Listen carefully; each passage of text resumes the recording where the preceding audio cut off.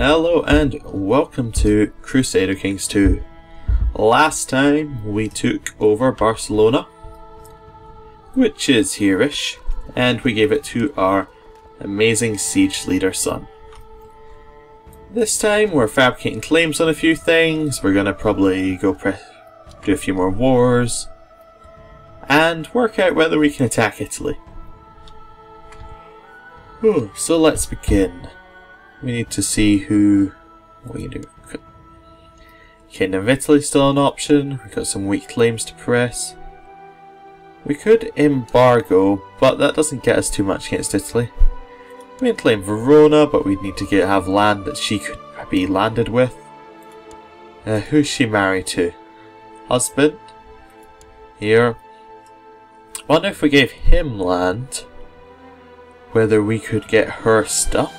Like whether when her claim was pressed. I suppose that when she died, it would then all go to that one here. And he would have all the land. That makes sense to me, I think. Okay. I like that. So we need to give him land. What land do we have to give away? Let's see what land's ours. But this land here, he can have that. So we want the weak claim on Verona. Where is it? There it is. So we want her husband to have this land down here, Messina. He can have all that. He likes us a lot. We can now go and press his wife's claim if we want to and it'll stay within our it won't necessarily become part of our kingdom straight away but if we kill her it would then go it would go to her son and if we need to make sure to kill her husband first and then her and it would all be fine. So we're going to move over to make to Merguel oh there's a new house in Amalfian politics because that was created just at the end of last episode. The uh, Republic of Amalfi so he has a few uh, new doges around, all with some good stats. So we'll get a good person coming out of there soon. Probably going to be a chancellor or something. Yeah, see, we've got some good uh, stats from people. Just checking all of this to see whether there's somebody fantastic who should have stuff and doesn't. Uh, we could give it to our new Duke of Barcelona, our son, Marshal title, and he'd be just worse. But I'm not going to do that because it would also really annoy our another one of our dukes, which we really just want them to like us. How many men does Italy have out of curiosity? 12,000, so it's going to be a bit closer than previous ones.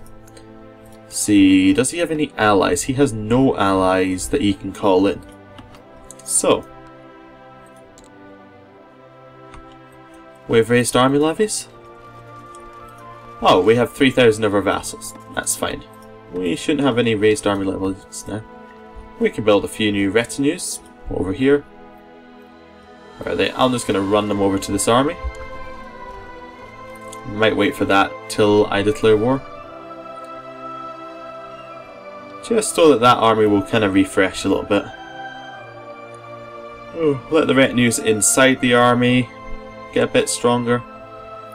Is that saying we should have 26,000 people in that army? Is that, am I reading that right? I think I'm reading that correctly. And if I am, that's quite a few more than I think we should have. I'm gonna let this sit and see how big the army gets. Because if we get 27 from just sitting, then 27 is quite good to get. Uh, we should probably... Well, we can't plot against anyone. Oh, okay. Let's go on a pilgrimage. Gives us something to do. Uh, let's go to a holy site in the west. The tomb of St. James in Santiago. So, a short trip.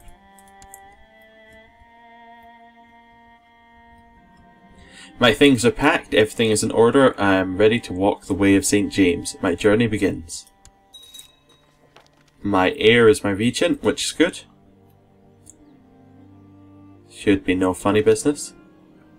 Travelling down a long and lonesome road, you come up again, come up upon a man lying in a ditch. He seems to have been robbed and beaten up quite badly. I can bind up his wounds and help him to the inn and pay for his recovery, which is going to be kind, which is 2 diplomacy, minus 2 intrigue, and some bonuses. That seems like something I would quite like. Or we leave he's probably dead. We're going to gain kind. So our, our intrigue went down, but it was pretty low to start with. But we got more diplomacy, so people will like us more. Santiago, you have finally arrived in Santiago, the oldest major pilgrimage site in the West. It is an inland town close to the Atlantic Ocean, with origins going back to at least the Roman Empire. The fabled Way of St. James is a long road to travel, and you pass through many towns and villages on your way here.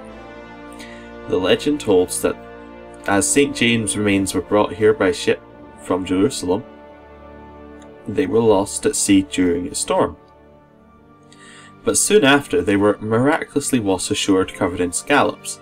Because of this, scallop shells have become a popular souvenir among pilgrims. Your mind dwells on the legends of this holy place as you make your way through the crowds towards the centre of town. I must remember to bring a seashell home with me. Okay. The stories of other pilgrims all spoke of how impressive this place is. Now you can see it with your own eyes. You can only join in their praise. You're glad you came here to one of Christianity's holiest places. So I get some piety. Just waiting for this army here still to get up a little bit. Oh, that's my pilgrimage over. Great experience, more piety, and the pilgrimage trait, which is a bonus with all same faith by 5. So we've got quite a high opinion of from everybody. Which is quite good. So let's see who the people who don't like us, what he wants. He wants County of La she's severely out of luck. She just doesn't like me for some reason. It's only 62. It's 62 positive, still not bad. I might give this guy an honorary title. We'll give him Cupbearer. And we'll send him a gift. So we should have a few more. Yeah, we have about 8,000 in uh, army levies that we can get. That's 75 a month. That's going to take an awfully long time to reinforce. I don't think it's going to 27. I think if I detach retinues, that not? Split off retinues and we're just gonna get the rest down here. We're gonna let this move on, and then we can see. Yeah, right. Yeah, that those aren't reinforcement. Only the retinues are reinforcing. Uh, who are you? Why do you think you should be the king of Ac Duchy of Auvergne? He quite likes me, actually. He's ambitious. That's why he wants to be that. We want to get rid of that trait, but I don't remember how to do that. Or whether there even is a way to do that. unless they're in a faction. I think you can possibly get them in a faction. West Invasion. Opinion of King Ray. We could almost get the Pope to uh, let us invade. Maybe we should do that for somewhere else. Can we do an invasion of Germany? No, we need fewer realm titles. So I think Italy might be the only place we could do it. Hmm. The Pope's opinion of this guy. What is the Pope's opinion of this one? Probably not as high. We kill the King of Italy. No. Okay, we're just gonna have to declare war. Declare war for Verona. Right. We want to raise all of our troops and then work out where they should go. So, we're gonna take all of those troops. We're gonna beat up that army there. Just as a start. We still have the good leaders in that one. Yep. Um, we're gonna raise a few boats here, I think. Oh wait, no, those are our boats. We don't want to raise those. We want to raise the votes of Amalfi. Good.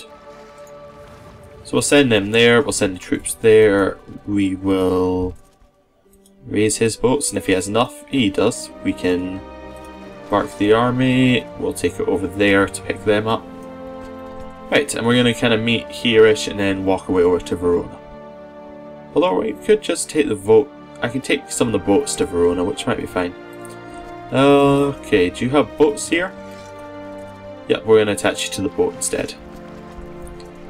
So, boat, go over here, and we'll let it run.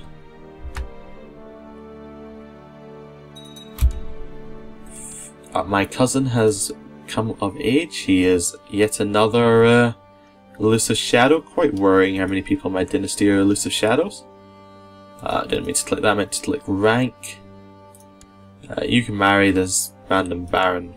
I'll be fine. Okay, so where's the units, attached to boat. You can go over there. Wait for this 46 to go over there. Where's the unit, attached to boat. Get all the boats we have and get them all going here. Okay.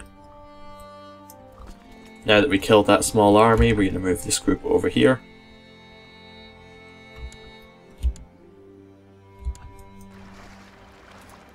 Merge, and we're going to send the army off into there. 12,000 plus, 15,000, 16,000, 17,000 troops. It's not bad. Who's in the war? It's just him, like we thought it would be.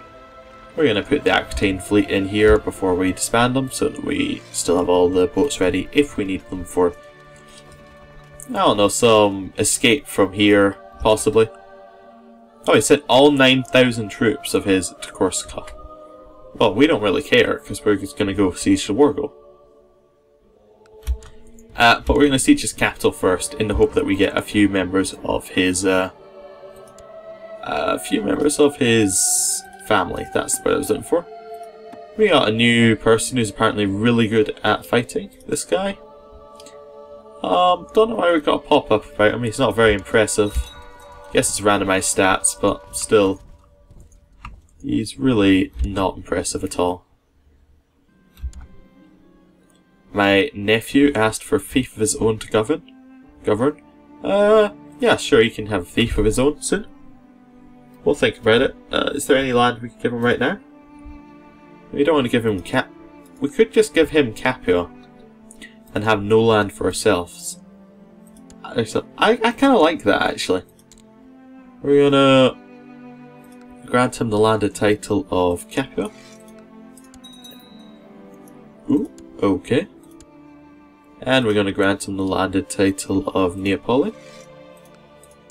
And then we're to grant him the Duchy of Capua. So that'll come back to us when he becomes uh, our lead. He becomes leader of the place. So I can get some new opinion of people because he lost of his educating things because he's a new person. We're gonna give it to the per hmm. We're gonna give it to the Italian who likes us the least, I should say. Uh, doesn't like us, doesn't like us, doesn't like us, not Italian. Do all Italians like us the most they can? No. There you go. You can raise them. Might just give it to the highest ranked person this time. Uh, we're actually gonna give it to him. Fine. It to him, her to him. That'll be fine. We lost our Marshal, but that's fine. Wait, why did we lo lose him as an option for a Marshal? He's our Duke, but... Well, whatever, I don't care. It's not that big a difference. Uh, he's gone down quite a lot, so we can give him our uh, stewardship position. We can go collect taxes in our only province. And Spymaster. Cousin wants to be spymaster. Okay, he can go study technology in Byzantine land. We got quite a good council now. Was better at one point, but I can live with that. Cool. There's an, um, there's an adventurer looking to gather some men for attack of, on our territory. So I could try and assassinate him. So, but it tells us when he's going to attack, so I'm going to try assassinating him, and then if that doesn't work, then I'm just going to attack him later. Anyone want to join? You want to join? If I send you a small gift. There you go. Uh, if it gets to the like the day before the attack, I'm just going to send assassin after assassin after him until he dies. Because adventurers have a lot of event spawn troops and it's very difficult to beat them and it's much easier just for it to not be a problem. Right, so we got maybe over 100% plot power. Yeah, that should fire in two years, that's fine. So we're going to go around like this. Hopefully we'll catch his army. If we don't, that's fine. But we caught some of them. And now we're going to Pavia. We have a siege leader, if I remember right, on our army. Yep, siege leader. So we are just going to destroy this siege. We're just going to assault straight down and take it. adopt our marshal's idea for a more military technology spread. Have we got any prisoners? Nope. Assault this place. Also, assaulting gets our army down to a point where it's not taking uh, it's not taking attrition from being too large, which is good because that's uh, very annoying. Now I've taken his capital. Did we get any prisoners from that? Nope. Oh well. I, can live with that. I'm going to go to Verona. I'm going to capture it a bit slower. It's got 18,000 troops, but it should be a lot of war score for us. And all the capital war score was a lot compared to Corsica, which is barely worth taking for him, really. And we have some much better military leaders than him, so I think he could have really, really good ones, but I'm fine with the risk. If worst comes to the worst, we'll hire some mercenaries and uh, then go beat up on them. Looks like we're getting some bad uh, events happening here. Right, so now he's kind of stuck on Corsica. He has to get all of his boats back together and uh, get find his way off Corsica. Uh, Augusta, that is fine. That's our granddaughter. Right. Kinda worried about all the troops he has, actually. I might hire some mercenaries.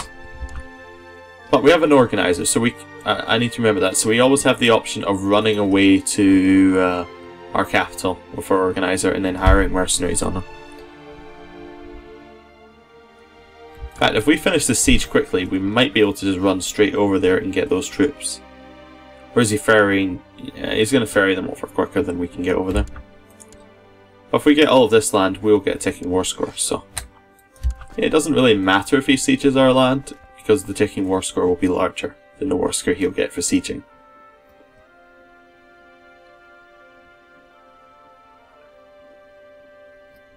Right. Where is he going? He's gone to Pavia. So, so he's gone back to his capital. If we can get the, where are the river crossings? Right, there's province between Montferrat, Lombardia, Cremona, Parma, and oh, there's a river crossing with everywhere. That is a pain to get at. It's probably a very good capital position, actually. Mm, we might try and just run in and get that 4,000 stack. I think we're going to go do, do that. Oh, perfect. We'll fight. Where's Cremona's rivers? Mantua. Damn it. He's not got any rivers. So 12,000 men. They're all going to Brescia. Okay. We're going to retreat a bit, I think. Yeah. I'd like to fight, but I'm not 100% sure we'd win. Where we with this? See if he backs away. We'll get here first, and there's a river crossing between here and Brescia. So yeah, we're gonna we're gonna fight. We have we need to get better leaders on, so organizers fine I think. Let's go for a brilliant strategy. Oh, he's Craven. Oh, that's not good. Brave. We still got that Craven guy. He's fine. We want an actual trait. Unyielding, that's a good trait. We'll use that. He's also Craven, though. Ah, dear. Heavy lint infantry leader could be good. We got a lot of heavy infantry. Flat terrain isn't great because we're not flat terrain. I think we're going to take the heavy infantry leader. It's fine. We don't have many mounted troops. We have no mounted troops, so that's fine. We'll fight. This should be a very close fight. We he is losing a lot more men than I am, but it's still a, he had more to start with. So we're gonna let it go slowly.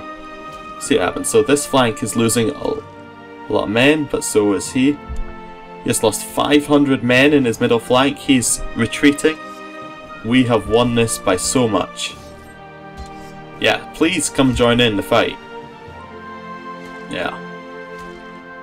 He has lost this battle a lot. And we captured someone. 97%, was that one of his family? Oh no, 75% war score from that battle. Right, so he's now going to Padua, we're going to go follow him, and we're going to win this war. Out all of his troops. We got there first, so we got the uh, better ground. All of his troops pretty much are dead, we're going to enforce demands. So, we gave her Verona. Now, if I've worked this out right, her heir is this guy whose father is our vassal. So we want to kill the father after we kill the adventurer. So that's good. We also severely weakened Italy, which is perfect.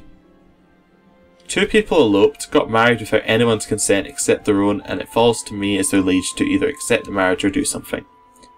Uh, we're going to order them sieged, and then we're going to end the episode here. Thank you for watching.